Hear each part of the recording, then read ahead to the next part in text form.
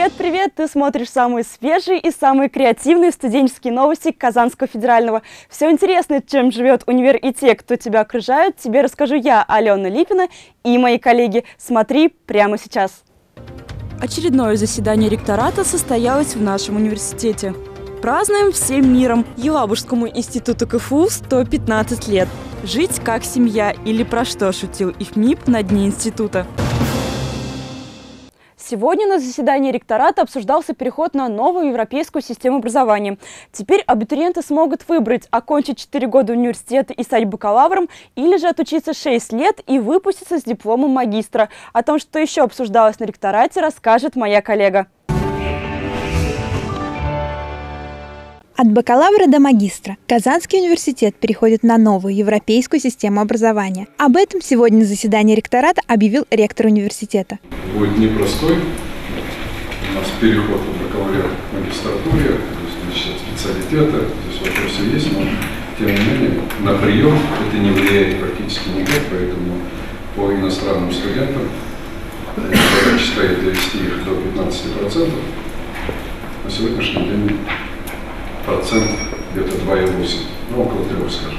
Ниже критического порога, по сути, такого уровня. По словам руководства университета, к переходу уже готовы юридический и экономический факультеты. Остальные находятся на стадии разработки. Кроме того, на заседании поднимались вопросы о международной деятельности КФУ. В ближайшем будущем планируется приглашение ученых компании British Petroleum, которые проведут открытые лекции для студентов. Студентам также предоставится возможность пройти международную стажировку в области социологии по новой программе ISEC, куда университет уже направил свое обращение. Будущие социологи удостоятся возможности пройти практику в Италии, Китае, Бразилии и Чехии. Под занавес заседания ректор выдвинул инициативу об установке памятника пострадавшим в авиакатастрофе 17 ноября. Это будет вот таким нашим вкладом и просить руководства, чтобы дали разрешение этот памятник установить где-то между первым и вторым терминалом, может быть, близко к аэропорту, чтобы это было таким напоминанием всем тем, кто несет ответственность за безопасность полетов, тем летчикам, которые садятся за руль или за штурвал авиалайнеров. Денежный фонд, куда каждый желающий может перевести средства и помочь пострадавшим семьям, планируется открыть на этой неделе. Кристина Чумагина, Ленар Довлетьяров, Руслан Уразаев, Univer News. На этом задачи университета не заканчиваются. С октября 2011 года в КФУ реализовывается проект «Tempus-4». Он направлен на развитие потенциала высших учебных заведений. Главная цель проекта весьма важная и серьезная – формирование практических навыков, оценки языковых знаний преподавателей английского языка. Вместе с КФУ в проекте участвуют еще 11 вузов России. Сегодня в рамках проекта в КФУ преподаватель из Великобритании Кэролин Вестбрук провела лингвистический эксперимент. Другими словами, оценила уровень знаний английского языка студентов-лингвистов. Студенты решали грамматические тесты, а также прослушали курс лекций, направленный на формирование навыков написания научных статей и аннотации на английском языке. Студенты решали грамматические тесты, а также прослушали курс лекций, направленный на формирование навыков написания научных статей и аннотации на английском языке. На данном этапе нашей современной научной парадигмы очень важно не только развивать свое научное направление, но и уметь координировать свои действия с зарубежными коллегами. Не только с россиянами, но и с зарубежными коллегами. И поэтому очень важно на данном этапе участие не только в научных конференциях, не только публикации за рубежом, что не утрачивает свою значимость, но еще и участие в научных и учебных проектах, одним из которых является Темпус, в котором а, сотрудники нашего института, Института филологии и а, международной коммуникации задействованы уже более двух лет. А тем временем в наш университет снова пришла универсиада. Да-да, на этот раз политологическая. А прошла она в рамках дискуссионного клуба «Политсковородка». Что бы студенты КФУ хотели изменить в существующем государственном строе, узнаешь в следующем сюжете. Сегодня в рамках студенческого дискуссионного клуба «Политсковородка» прошел конкурс среди студентов КФУ «Политологическая универсиада». Мероприятие, в котором приняли участие знатоки в области политики и права, приурочено к 20-летию Конституции Российской Федерации. В состязании приняли участие четыре команды, представляющие институты и факультеты КФУ. Конкурс состоял из трех туров. Первым участникам нужно было предложить свой проект государственной конституции. Второй этап – деловая игра, в ходе которой ребята представили собственную модель государственного устройства. Каждая команда подготовила презентацию, где наглядно продемонстрировала, как, по их мнению, должно выглядеть совершенное государство. Дорогие друзья, уважаемые члены жюри, коллеги, наша команда сейчас хотелось бы представить вам свой проект Конституции, но для начала мы просим всех встать. Звучит гимн Океании.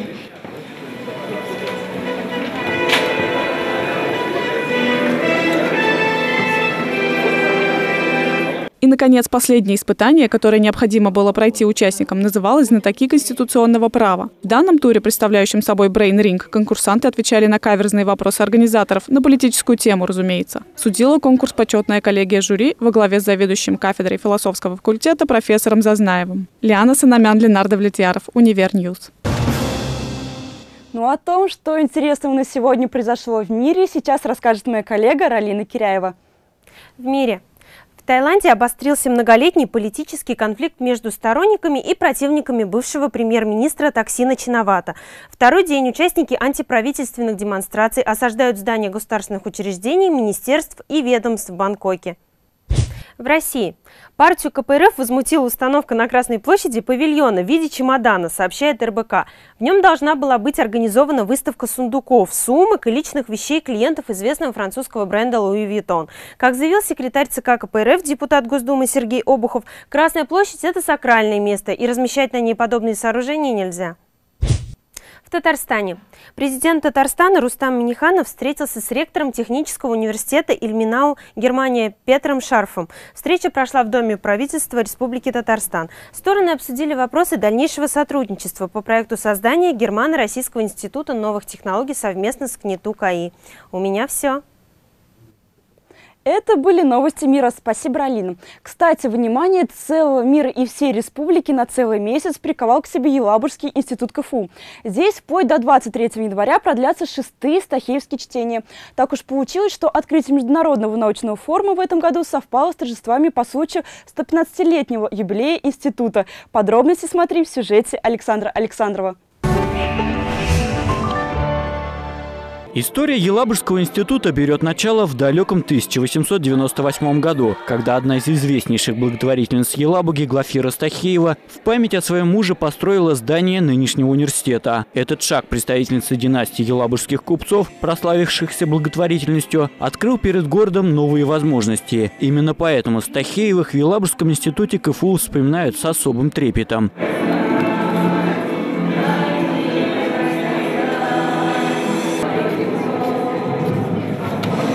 Ежегодно международные стахеевские чтения охватывают как проблемы исторических, филологических и лингвистических наук, так и новые научные направления. К примеру, в этом году темой конференции стали проблемы малых и средних городов. Поделиться своим опытом в их решении в Елабугу съехались ученые из Турции, Канады, США и других стран. Турции в список всемирного наследия входит всего два города – Стамбул и Сафранбул. Сафранбул вообще уникальный город. Здесь можно увидеть весь комплекс исторических зданий – караван-сарай, мечети, стены замка. Все это сейчас активно восстанавливается. Мы привлекаем в город инвестиции. Поэтому Сафранбул и Елабуга чем-то похожи, и нам важно вести друг с другом диалог. Однако стахеевские чтения – это не только научные дискуссии. В память о благодетеле знаменитых купцов в стенах Елабужского института ежегодно происходят добрые дела. Богатой на события выдалась церемония открытия чтений и в этом году. В ВУЗе появилась галерея руководителей, стоявших когда-либо у руля, а также открылась новая экспозиция в музее. Историю здесь вспоминают неспроста. Здесь изначально формировалось а, образование таким образом, что оно было направлено на подготовку педагогических кадров. И вся история, 115-летняя история данного учреждения, она связана именно с подготовкой учительских кадров, без которых э, сегодня э, не, не может существовать ни одно нормальное общество.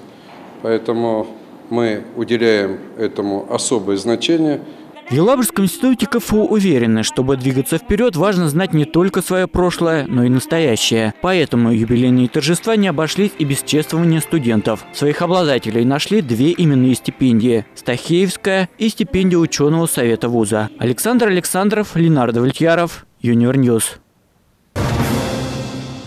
А пока в Елабуге празднует юбилей института, институт КФУ уже набережных Челнов посетили немцы. Да не простые, а родийные. Немецкое радио «Коракс» приехали в набережные Челны и себя показать, и на других посмотреть. Все подробности смотри в сюжете наших коллег. Эта радиостанция вещает в Германии. И здесь можно услышать не только передачи на немецком.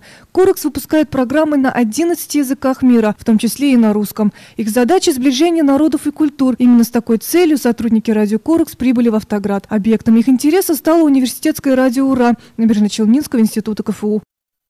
Прежде всего, наша цель – познакомиться с университетской радиостанцией. Нам бы хотелось узнать, как вы это делаете, какие у вас есть выпуски и каких форматов. Нам интересно и то, как вы выходите в прямой эфир и для кого вещает ваше радио.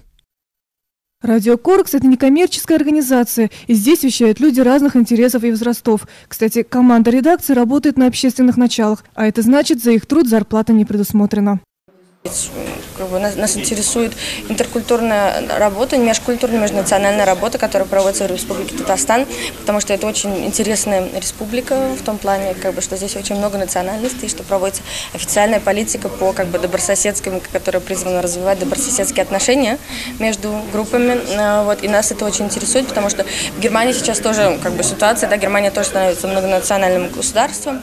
Немецкой радиостанцией заинтересовались и СМИ города. Познакомиться с Корекс пришли и представители Европы плюс набережные Челны. Общение России и Германии продолжилось на пресс-конференции, куда были приглашены студенты кафедры массовых коммуникаций. Здесь радиостанции смогли узнать больше друг о друге, обменяться опытом и поговорить о дальнейшем сотрудничестве. Индира Магданова, Денис Горожанинов, Игорь Морозов. Специально для Univer News. Настоящие биологи, которые, конечно же, учатся в нашем универе, в свободное от учебы время танцуют, поют и решают вопросы мирового значения.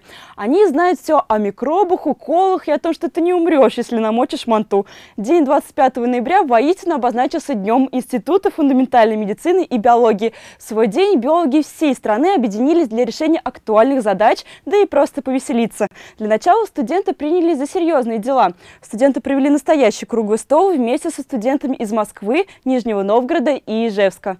Студенты обсуждали проблемы студенческого самоуправления, рассказали друг другу об опыте проведения университетских мероприятий и поделились идеями и планами на будущее. В КФУ гостей ждала насыщенная программа. Студенты провели для гостей экскурсию по городу, показали музей университета, а также пригласили ребят на праздничный концерт, посвященный Дню факультета. Что это отличная возможность подчеркнуть новые знания, а, приобрести опыт от других студенческих советов, по круглому столу, который сейчас был проведен, можно уже сказать, что а, организация в разных городах, в разных университетах очень отличается друг от друга.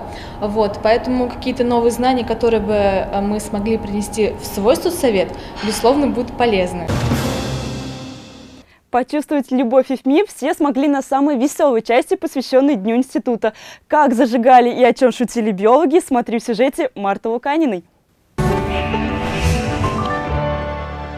Самые талантливые студенты Института фундаментальной медицины и биологии отметили День родного института. Под этот праздник отлично подходит поговорка «Все новое, хорошо забытое старое». Испокон веков на биофаке праздновался День биолога. Однако, после того, как дружная семья зеленых пополнилась врачами, праздник сменил название. Это наш общий праздник, к которому ребята готовились, наверное, теплее, активнее и более с душой, чем к студ весне, ко дню первокурсника, потому что здесь мы показываем себя, показываем нашу биологическую натуру. Показать свою биологическую натуру получилось на отлично. Шутки КВН смогли понять только истинные биологи. Стороннему слушателю было неясно, почему все смеются. Делали в особом юморе или же чем-то другом. Он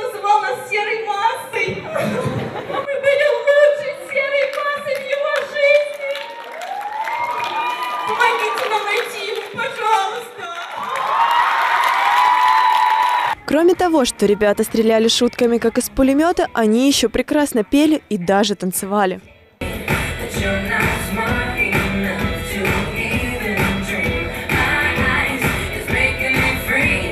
Кстати сказать, прекрасные девушки в красном научились так завораживающе танцевать в своем любимом институте. Для них хобби переросло в нечто большее, ведь они организовали свой танцевальный коллектив Div Dance. Просто уже с первого курса мы сами создали свой коллектив, набираем новеньких там первокурсниц, то есть еще там даже сейчас подключились старшекурсники, и ну, танцуем уже как бы 4 года, и для нас только в радость что-то делать для нашего института. Как видите, талантов среди медиков и биологов хоть отбавляй. А предстоящей сессии ребята не боятся, ведь талантливый человек талантлив во всем. Марта Луканина, Ленар Довлетьяров, Univer News. Надеюсь, ты не пропустил это грандиозное событие и видел все своими глазами. Тем более вход на концерт был абсолютно бесплатным. Кстати, интересно, мир без денег, каким бы он был? Ты бы хотел в нем жить? Студентка КФУ Алина Стрелкова смогла воплотить утопическую мечту в реальность. Девушка со своими друзьями организовала первый в Казани фри-маркет. О том, как прошло это интригующее событие, смотри далее. Это больше, чем обмен вещами. Это даже не обмен, это какой-то непрямой обмен вещами. Здесь это территория свободы. То есть обмен вещами есть, но это не самое главное. Можно также принести свои умения. Фримаркет, как бы само название говорит, свободный рынок.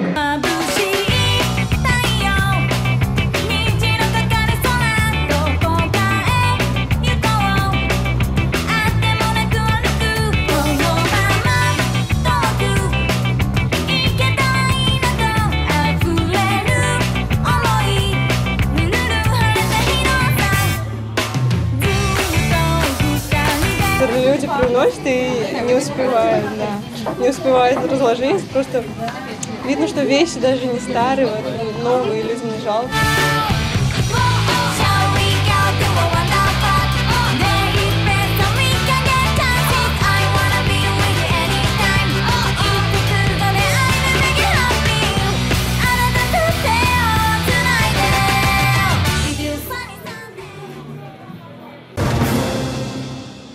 На сегодня у меня это все новости. Тебе понравилось? Тогда всегда смотри Univer News и будь в курсе всех классных событий вместе с нами. Я желаю тебе удачи. Пока-пока.